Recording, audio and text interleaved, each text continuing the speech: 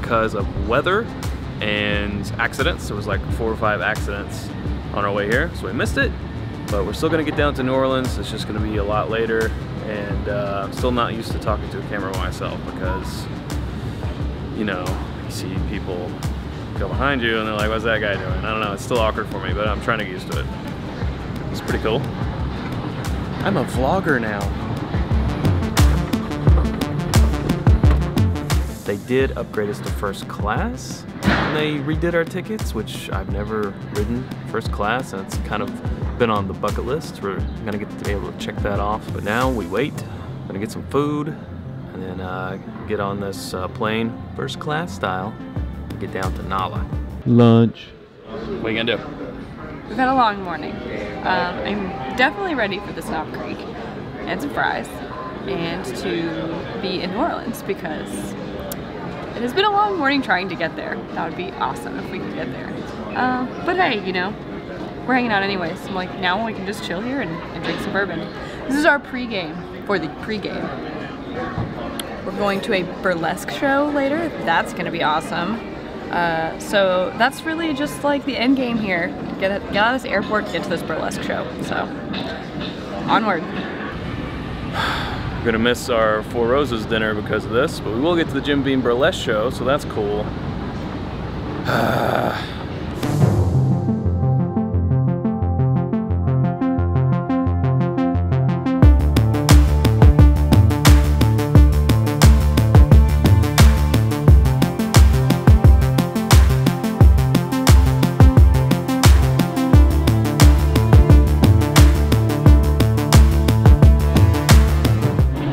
gate on us, It's just been one of those days, you know? one of them days. Everything's changing, going wrong, but we're gonna get there. I'm We're gonna get there. at this point. That gun it? I'm getting on this plane. I'm getting to New Orleans. getting there. Finally made it on our flight. Seven hours later. Adios. it's okay. We're just happy to be home. Hello. Hi. Hi. Oh. We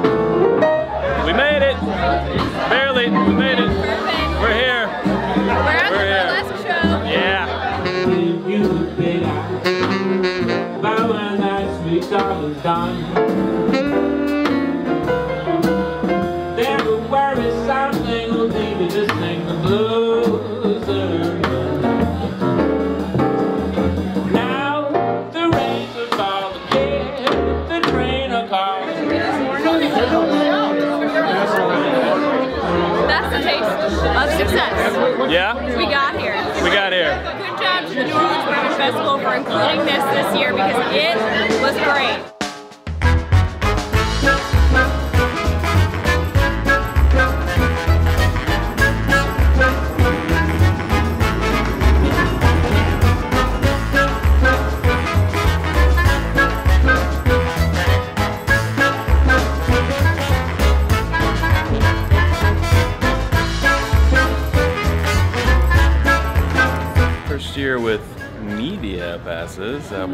That? Yeah. Uh, so we've been through three seminars so Yep. far. Yep. Tell us. Um, let's see. We started the morning. Um, we actually went to the Silverback. We went to that one for a few minutes. Check that out there. The only other mother-daughter distilling combo besides Jeptha Creed. Yeah. Um, so we went to that for a few minutes. Then we went over to Adam Harris. We went there last year. He's great with Beam Suntory. He did the uncut bourbons um, seminar for tastings. He liked to put these together in small batches. So he started in 1988. He began with his namesake bourbon Booker's that we'll get to later. And that was the first small batch bourbon. Then we had Michael Veach give us a history lesson about the early days of bourbon. So he decided that um, he would reuse a barrel that had salted fish in it. I don't care how much you burn the inside of that barrel, it's still going to make the whiskey taste like salted fish.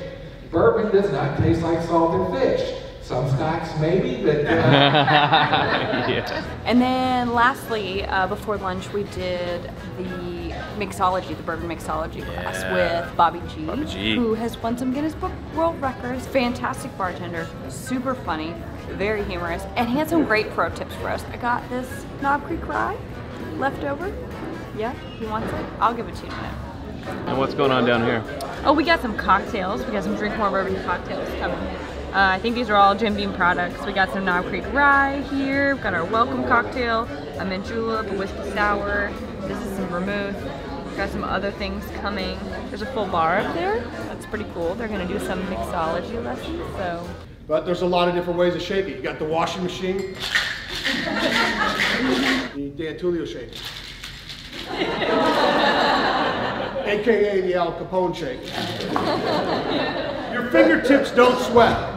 So what we want to do, the reason that we want to do this is we want to open up the aromatics of the mint. So all you do in your fingertips, just take that mint and spank it on the rim.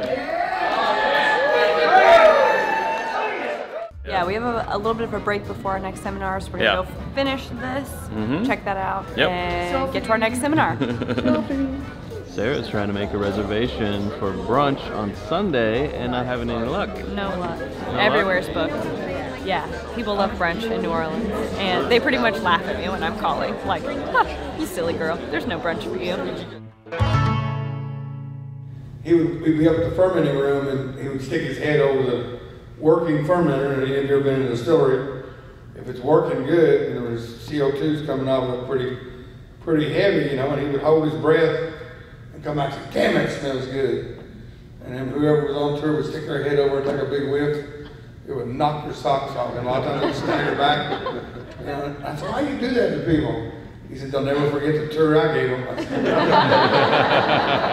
said, For a while, I wanted to be a lawyer, but given our family's track record with college, I figured once I found out that you had to go four extra years, it probably wasn't right for me. But I always thought it was cool to, to, to get paid to argue. I thought that would be kind of cool.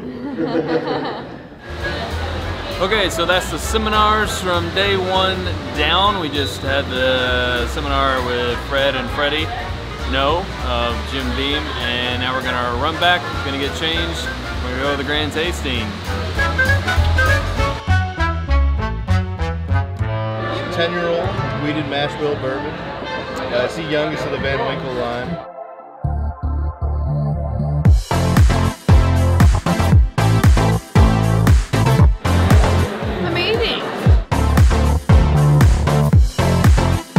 Nom, nom, nom, nom, nom.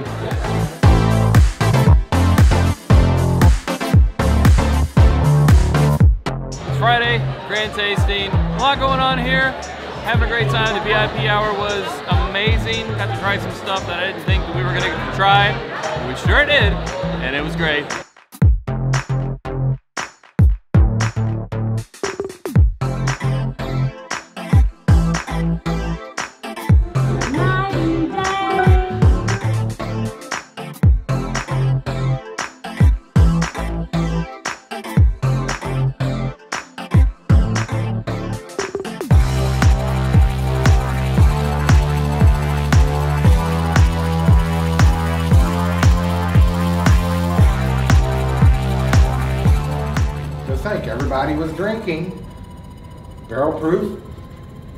Single barrel bourbon in the 19th century.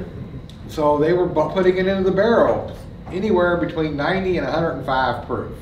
I was here last year for the inaugural festival, um, and this year's festival is already better in, for two for two reasons. One, my session is not at 9 a.m. as it was last year. Um, that was tough. I want to I want to really thank these folks here in the front row who were two of the three people who made it out at 9 a.m. Um, Now, bourbon, we're so fortunate, you know, especially in Kentucky because we have some very creative master distillers, and it truly is up to the master distiller to determine what they call the secret recipe.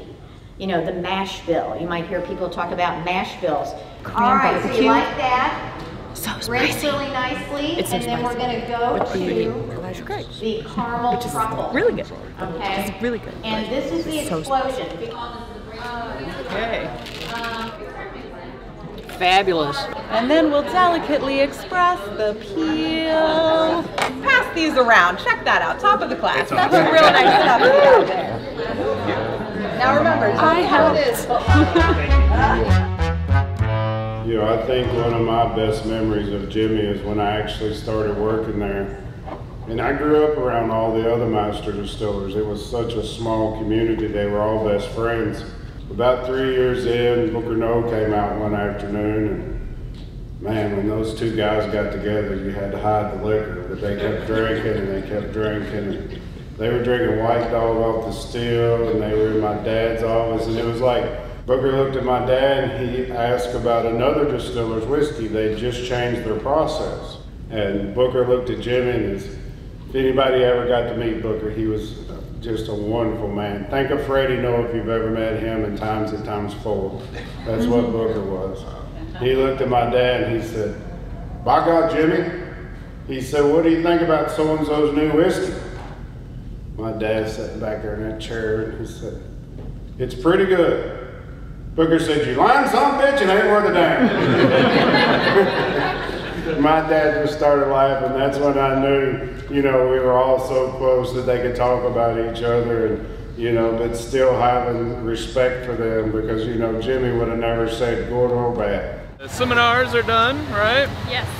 Seminars, are done. on day two. Day two. Um, about to go to the grand tasting for day two. Yeah, we gotta get a lift. We're gonna get a lift. We're gonna go get a lift. So we're trying to get to the grand tasting early tonight.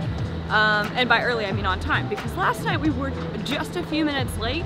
When we showed up, they were pouring William LaRue Weller, Thomas H. Handy Weller 12. They were pouring Pappy 23. Uh, Supposedly. supposedly. We didn't see it. We missed it by like 10 minutes. Which, so today we're on a mission to get that. Um, we did get some RIP 10, that was great. Uh, Michter's had their 10 year old out, uh, Wild Turkey Decades, just a ton of stuff, and you have one hour to try these. So it's like you have to choose wisely, you know? You really It's have to VIP make, hour. Yeah, VIP hour before the um, before the general public gets in. We're on a mission to get that. Hi. Hey, just you go guys in. can go right ahead. Perfect. Oh, this is the 23. Got the last of it. That's it. I don't even think I've ever had this before. So this is a first. Um, yeah. Woo. Wow. It's so smooth. And it's way sweeter than I expected it to be. Like not too sweet, but I expected it to be for that age, but I mean it's really good, but is it the best thing in the world? Uh, I'll have to report back on that. I wouldn't pay what secondary is asking for but it's really good. The William LaRue Weller that we had yesterday during VIP, I feel like was uh, is better. Nice and rich, a little oaky, a little leathery, but overall, it's good. Jogging the 23, it was gone in three minutes. Ah.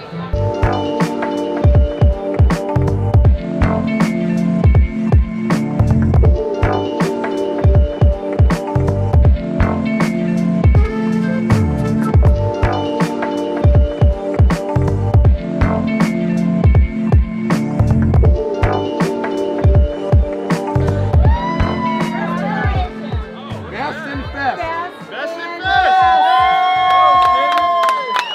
you know, anytime you win an award like this and it's done by the consumer and people that are really passionate about whiskey and we come out on top, it's pretty, I mean, it's, we're proud, there's no doubt about it, but there's a lot of damn good whiskeys out here that are probably almost as deserving, but we'll take this one.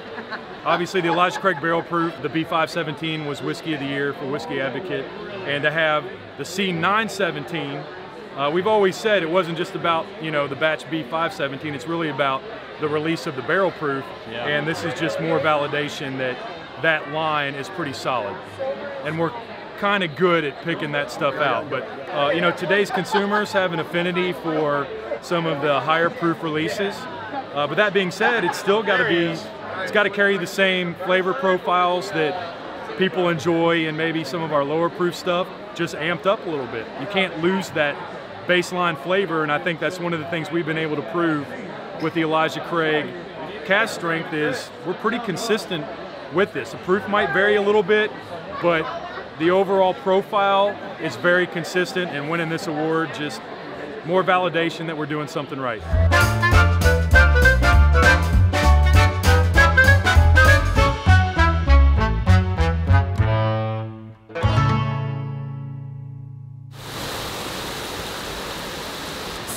Sunday, festival's over. We have been walking around kind of near the French Quarter all morning. We had brunch, that was delicious, at a place called Sylvain. Uh, there's a downpour right now, so we're hiding under this overhang. I'm gonna go to a carousel bar, which sounds pretty cool. Oh, I'm getting misted.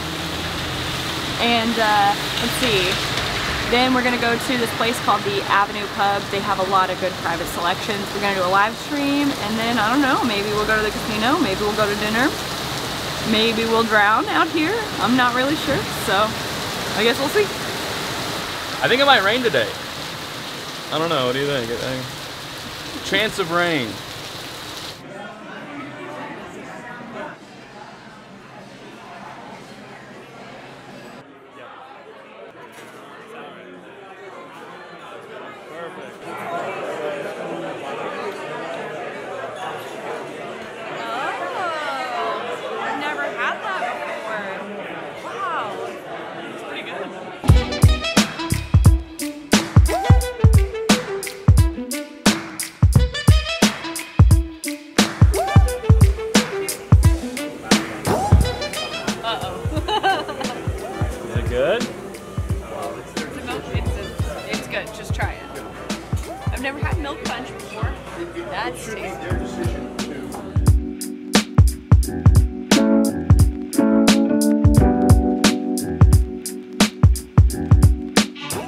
Course we ended our trip at Harrah's. Of course. If you know me, you know that I like casinos. I actually won a little bit of money. Mm. A little bit. I think you Actually lost a lost a little little bit. bit. Yeah. So- So, I'm the winner.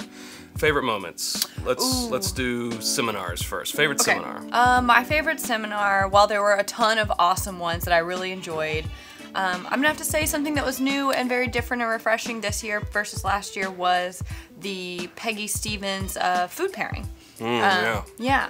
You're still getting over that uh, spicy uh, Yeah, that, I'm still Uh, working on getting over that uh, spicy Korean barbecue. Korean barbecue. Yeah. Yeah. oh, that was spicy. But- I'm gonna say my favorite was the bourbon mixology with Bobby G. Oh, that was a close. That and Adam Harris. I mean, you can't go wrong. Adam I love them. Now, what about at the grand tasting? What was your favorite thing that you put in a, put in the glass? Well, so that's tough because like I like to think about what is something that was new that I was introduced to there that made me excited. And I had never gotten to try the Yellowstone limited edition bottle before, so I did get to try that. And uh, I believe his name's Steven Mhm. there. Stephen He- Fonte. Yes, he is amazing, very hilarious. So he entertained us for a little bit while we tried that. I liked that pour. That was great. Mine, I definitely liked the antique collection, so the William LaRue Weller. But you know, one thing I was most surprised about was the Jim Beam Master Collection. Oh yeah, that's right. Uh, the like it's a $200 bottle. It's finished in some other type of cask, and I'd always kind of held off on it because I was like, ah, you know, that's uh, the price, and it's your master. I'm sorry, not master's collection, masterpiece, Jim Beam Mhm. masterpiece, and your masterpiece is is finished in a non-bourbon barrel. I was like, ah, come on. But I tried it, and it was really good. Mhm. It was really good. So that that was not my most favorite thing, but it was something that I was um, the most glad that I Mhm. tried.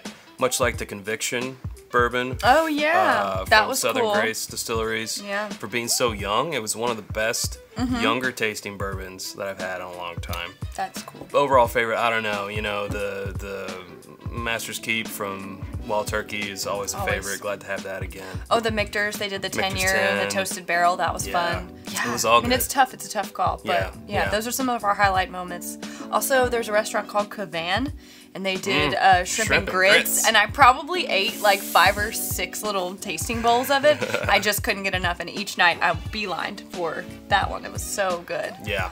Um, And we may have, uh, I don't know, um, watching the video, it kind of made it sound like we were really selling the VIP hour, and we, we are because it's amazing. But once the VIP hour is over, just want to make sure with your stress that there's still lots and lots of good bourbon there. Yeah, it's amazing. So if you don't buy the VIP ticket, you're still, gonna get get- to try amazing stuff. Just not stuff like the Pappy 23 or the Right. BTAC or the Michter's 10, but still some really amazing Yeah. stuff. And we still got to try stuff that we hadn't tried Hadn't tried. before in Mhm. the non-VIP hour. But the VIP hour is where it's at. I'll if you say that. plan to be there on time, Yeah. then it's worth it. If you don't plan to be there on time either day or both days, then I think maybe it's not as worth it because there's so many limited offerings and you can only do them within an hour and some of them are gone very quickly. You have to pick. Like if so you wanted that Pappy 23, you had to to, go be there. straight to there Mhm. and On get time. that first. So all in all, great time. You should do it. And it looks like they've already posted next year, Mhm. March 20th through the 22nd. Yep, of So, 2019. Of Yep. 2019. We hope to be there. It They- just keeps getting better. Each year has gotten better, and, Yeah. it, and it was already great from where it started. So right. I'm just excited to see what happens next year. Likewise. So that'll do it for us. Hope to see you guys there in 2019. Thanks, Sarah. Thanks, Chad. Okay. And until next time, drink more bourbon.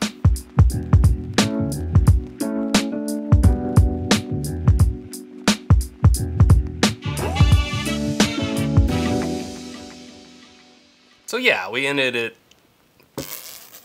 Ended our trip. Is what I meant to say. I tried to say.